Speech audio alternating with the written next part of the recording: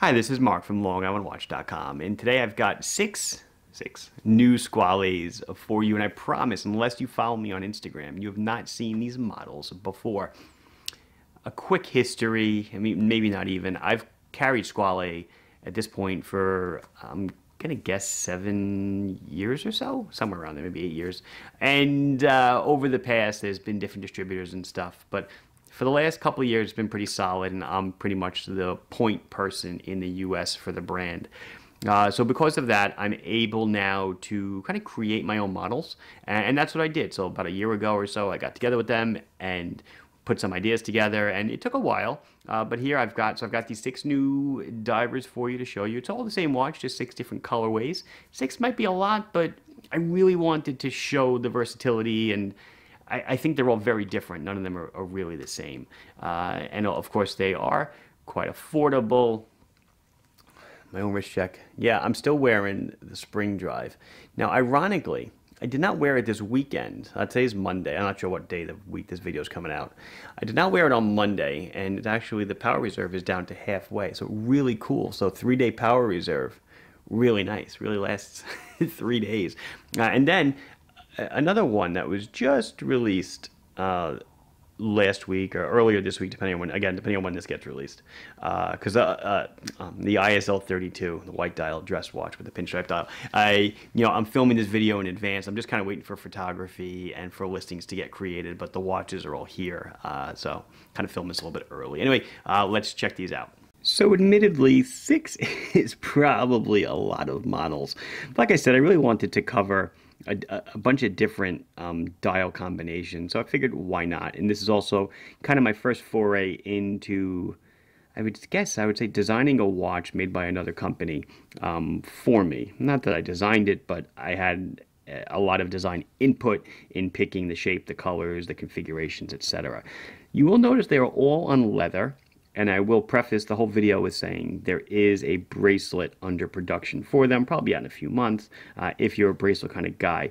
But the vibe that this echoes, I really felt that leather was the correct strap to sell it with. I know a lot of people poo-poo divers on leather, especially 300 meter water resistant divers, but I thought it just set the watch off so well. So generally, um, Squale doesn't have like real names really for watches. Um, you know, we say 1521, 1545, 20 Atmos, 30 Atmos. Um, but I actually, since I was creating these uh, basically for my store and my market, um, I am calling this the Montauk because Montauk is a town on Long Island, uh, all the way out on the east end that I have frequented. Uh, it is a very nautical town, obviously, on the south fork of Long Island, all the way at the end, Montauk Point Lighthouse. And it's just I don't know, kind of gives me that vibe and feel, kind of a casual weekend, almost a beachy watch. Um, but of course, you don't need to be near a beach to wear it, as most people that own dive watches don't live near a beach, right? Uh, okay, so the Squale Montauk 300 meter Swiss made automatic dive watch. Uh, we'll jump right into the specs. 30, okay, so 38 millimeters in diameter. I want to flip it over though so you can see. 38 on the case. Here's the case. If you look, you do see the edge of the bezel sticking out about one millimeter on each side. So if you include the, the diameter of the bezel, it's 40, but it does not wear like a 40. It is truly a 38 millimeter case. It is 12 millimeters thick to a uh, AR, sapphire crystal AR only on the inside. It is 46 millimeters lug tip to lug tip. An excellent, excellent size. A solid screw down case back. You can see the Squale engraving, 30 Atmos, which means 300 meters of water resistant stainless steel, Swiss made. Yes, it's a Swiss made watch. The sapphire crystal we mentioned, and the lug is 20 millimeters. So if you want to put a rubber strap on it or a nylon or anything else, 20, extremely, extremely common um, a beautiful bezel, 120 click, unidirectional ratcheting bezel. It is a uh, K1 mineral insert. There is a lume at the triangle. Um, and you'll notice that the dials on all of them have this, um, I believe it's Nemoto Luminova, uh, the old radium kind of style lume looking. Uh, so it's that that vintagey kind of darkened lume on all of them, that patinaed lume. So really nice, but it does glow rather well. Uh, screw down crown. You'll see a little blue on the crown. That is just protection for scratching and shipping and handling. Um, it does scrape off, but I really don't want to scrape it off. You'll see they'll all have it, but there is the Von Buren uh, crest on the crown. So the dial itself, this is the blue one because there are six of them. Uh, the model numbers are MTK dash and then one, two, three, four, five, six. You see you have Squale at the top with the family crest. Uh, the name Squale again, which means shark in the dialect of Italian where the brand comes from, even though they're Swiss-made watches, the kind they hop across the border for the factory. 30 atmospheres of water resistance, Swiss-made on the dial. Whoops. Oh, I didn't, probably didn't even mention the movement, did I? It is a Sellita SW200 movement.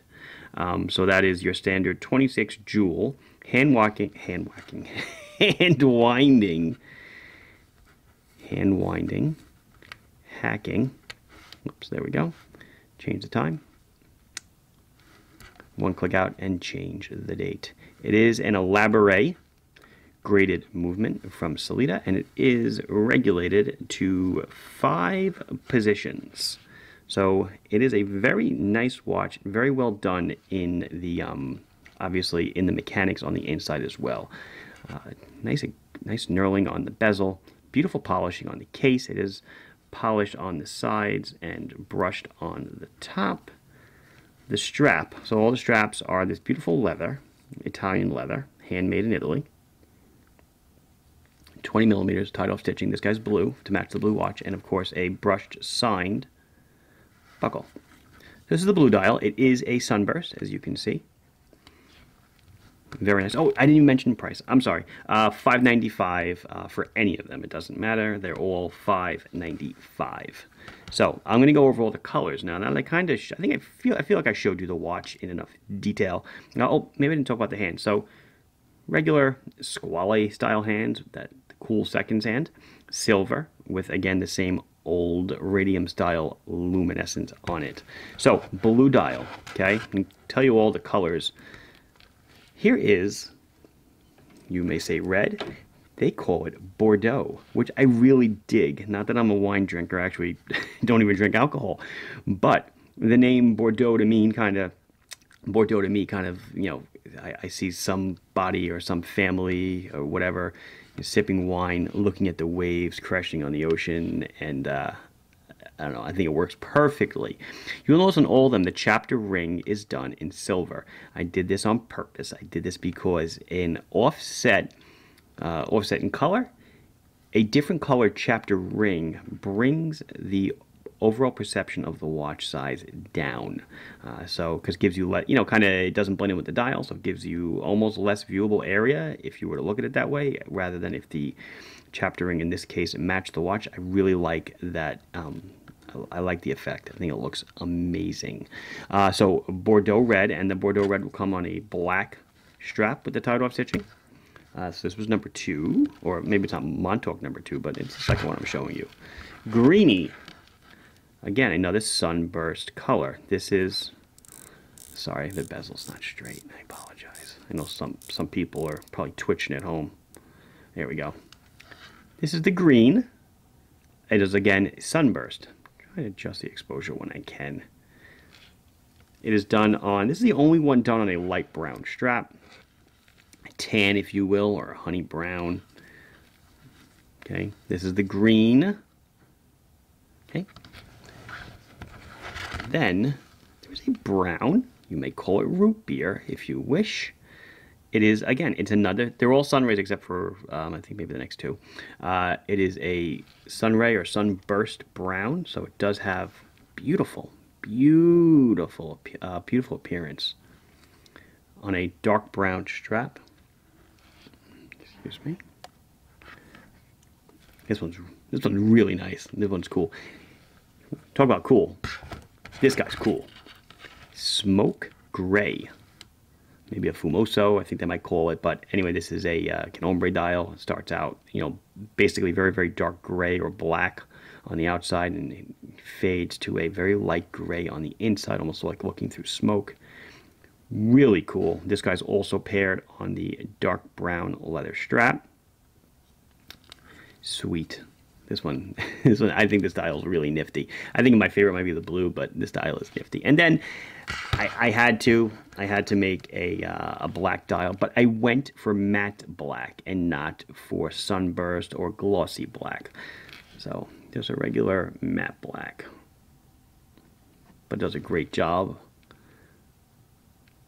The matte black kind of works, I feel, with the vintage look or of the uh, of the lume he does a great job. Uh, it all kind of fits together, I guess, in, in, in the same uh, the same color motif. I will um I will try one of them on so we can check it out. Here we go. It is quite a cozy strap, being that it's a single ply. It's not um you know, it's not stitched together. Um, six and three quarter inch wrist. I might go one notch tighter, possibly. I don't know.